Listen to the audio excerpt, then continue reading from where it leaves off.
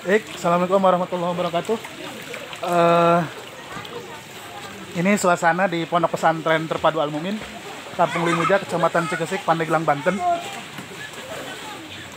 Sejak jam 3 malam tadi, pesantren kami eh, terendam banjir.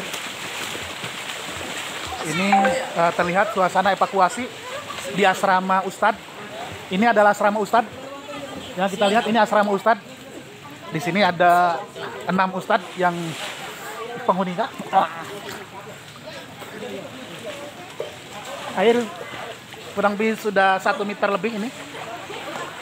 Di sebelah sana ada saung Quran, saung Quran atau saung tahfidz juga sudah terendam, ya sudah terendam. Kemudian di sana juga ada asrama santri putri.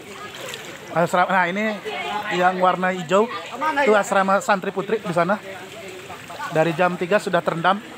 Di sini ada kurang lebih ada 30 santri putri yang mungkin terpaksa kami ungsikan ke musola. Ya, di sana juga ada asra, uh, saung pimpinan. Saung pimpinan sudah terendam dari jam 4 tadi pagi.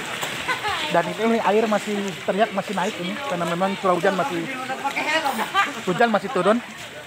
Uh, kami minta doanya mudah-mudahan santri Ustadz dan penghuni pesantren dalam kondisi dan keadaan baik semuanya. Terima kasih. Assalamualaikum warahmatullahi wabarakatuh.